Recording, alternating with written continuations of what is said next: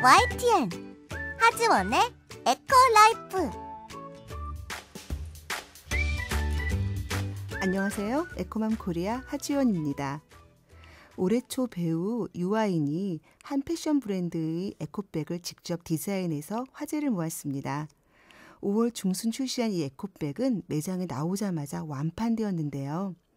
TV 드라마나 예능 프로그램에서 여자 연예인이 들고 나왔다는 에코백도 품절 행진을 이어갑니다. 어느새 거리를 점령한 에코백 열풍은 어디서 시작되었을까요?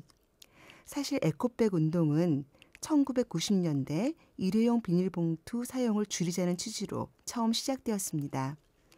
이름의 친환경성을 강조하는 에코가 붙은 이유인데요.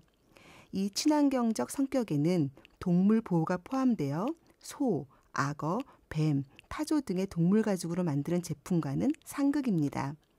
한마디로 다른 생명을 해치지 않고 만들 수 있는 청가방이라는 뜻입니다.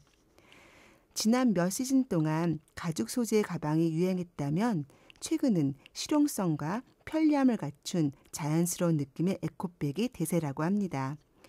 이에 인상적으로 대학생들이 가죽 가방을 선호하지 않고 천가방을 편하게 어깨에 메고 다니는 모습을 많이 볼 수 있는데요. 나한테 가장 실용적인 방법으로 자발적으로 에코백을 이용하고 있는 점입니다. 하나의 패션 트렌드로서가 아니라 환경과 생태를 생각하는 에코백 바람이 훨훨 불고 있습니다. 요즘 대세 가죽백 NO, 에코백 YES입니다. 지금까지 에코맘 코리아의 하지원 대표였습니다.